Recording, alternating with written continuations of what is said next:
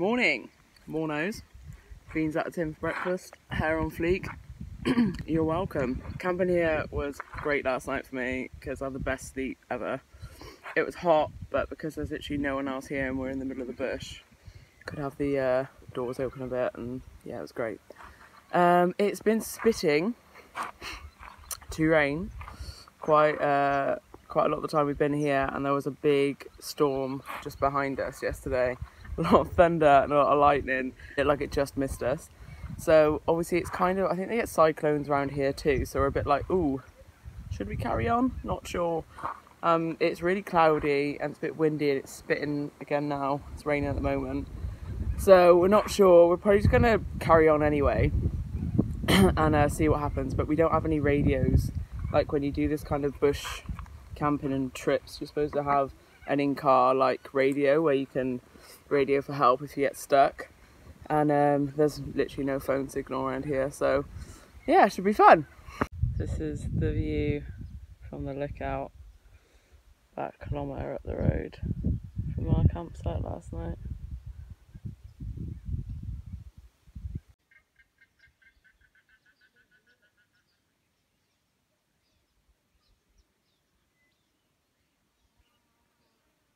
Okay, so this is Deep Reach, um, and the local indigenous people believe that Barramundi, or the rainbow serpent, yeah, so the rainbow serpent apparently rests in this pool. Rainbow serpent's really important in a lot of like um, indigenous mythology and stuff. Their beliefs and create like the creation time. The rainbow serpent plays a key part in that. So apparently, this is the story from around here about the rainbow serpent could just pause it if you want to read it. It's pretty interesting.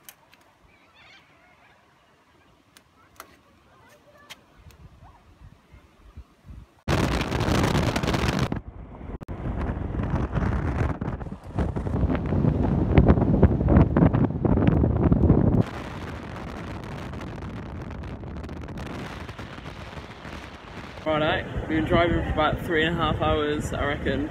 Um, that road in wasn't great, but we made it, it's fine, we let the tyres down so it wasn't too bad.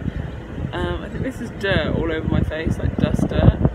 Uh, we just stopped at the first uh, petrol station since we left uh, Karratha, well Roebourne, which is Auski Tourist Village, and if you want to see what a proper outback servo looks like, this is it.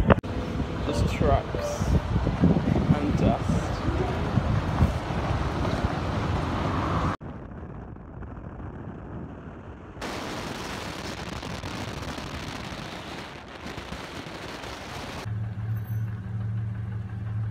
Righty I. we have arrived, hair on fleek, again, at uh, Dale's Gorge Campground in Karijini National Park. It is paid, it's $11 per adult, no power, just toilets. I'm getting flies everywhere. Um, but it's like an honesty thing again. I think they do check, but we've not had anyone check yet. So there's other people here, as if. It's like rammed, there's like 10 other people here, which is very unusual and the road in from um, like from that servo was all tarmac, which is amazing because it looked like on the map that it was going to be a unsealed road again. Um, and there's some really good stuff around here. Obviously, there's actual Dale Dale's Gorge or Dale Gorge, and there's circular pools and Fortescue Falls, which all look pretty good. Also, if you do take that road between Roebourne and Port Hedland into Millstream National Park and Karijini National Park, there's asbestos in the air because it's a mining town. There's like mining places on the way. Um, so I don't know if they, they're still using them. The only people we see, the only people we saw on that road in until we got to the Auski Servo survey uh, were workmen. So getting into Karijini is the, like the first kind of tourist slash travellers, backpackers, whatever you want to call it, um, that we've seen. Look at these flies just landed on my face. Yeah, so apparently there's asbestos dust, asbestos dust in the air.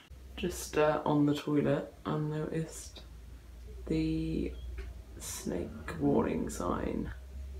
Apparently there's a plenty of king browns around here. So this is what the campground looks like at dusk. And this is our little corner set up over here.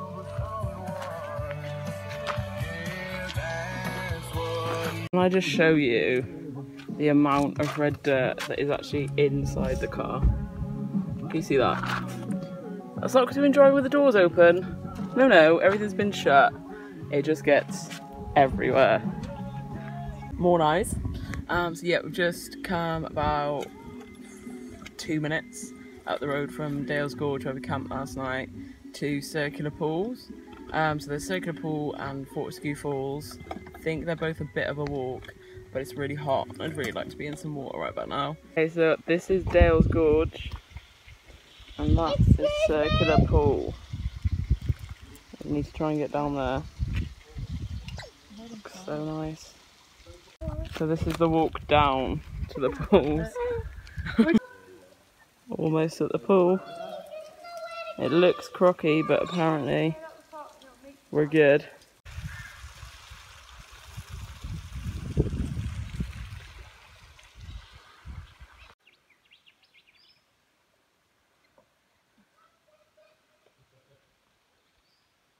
So this is circular pool and it looks unreal. It looks good on the camera but not as good as it looks in real life. It's like a little oasis.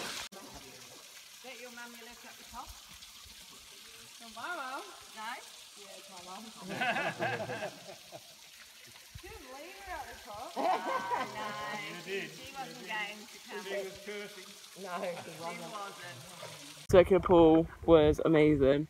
I think that's one of my favourite spots like we've been to this whole trip. It was so nice. Um, and then you just drive a little bit. You can walk from Circular Pool down to Fortescue Falls, but it's two kilometres and a three hour return walk. It's better if you just come back up the cliff, drive down to the car park where we've just driven to, then do the walk down to the falls. That's what we're about to do now. I think it's only like 800 metres or something. It's warmed up again, so I'm buzzing to get back in the water. But this Karijini definitely come. Uh, we've been to two spots pretty much, but it's been like one of my favourite places on this whole trip so far already. Oh, so this is what I was talking about the asbestos warning. Blue asbestos is a silicate mineral that occurs naturally within the Hamersley Range. Be exposed as a seam in rocks in deep sections of Dales Gorge, has a blue colour. It's not hazardous in its unprocessed natural state. So we've seen quite a bit of asbestos, which is good. Um, so basically saying it's dangerous, but not in its pure form, which I think is true because I think it's only dangerous if you inhale the dust. So we should be right, just swimming in it and drinking it. What else?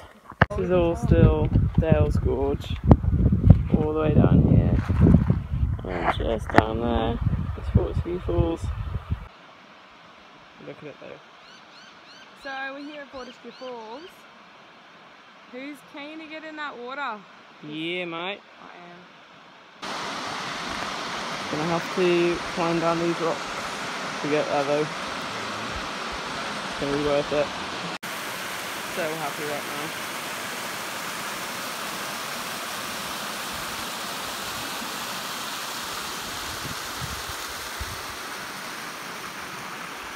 This is Fern Pool. Uh, can't be too loud or jump off the falls it's a sacred place for the indigenous people.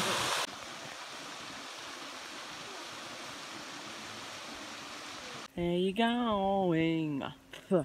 Fly in my mouth.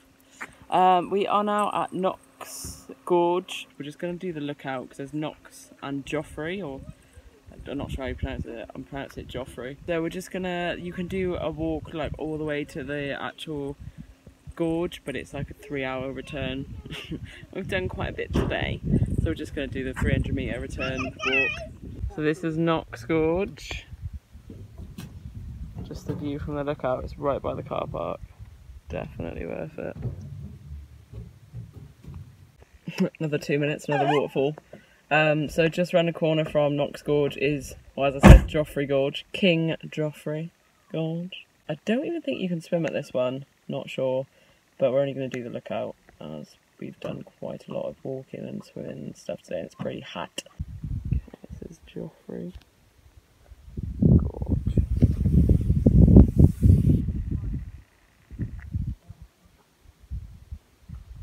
So that there that white stuff is where in wet season it would be a waterfall, because it's dry season, just the gorge. Right, so we've arrived at um, Eco Retreat in Karijini. It's $20 per person per night to camp and it's not powered. They have like accommodation options, I think it's like $200. There is a bar and a restaurant, but we can't eat because it's booked out and they're short staffed. Um, there's drinking water, there's no Wi Fi or anything like that, and no signal. But yeah, it's pretty cool. I'll just have a little scan around the park. That's the reception and the bar and restaurant area.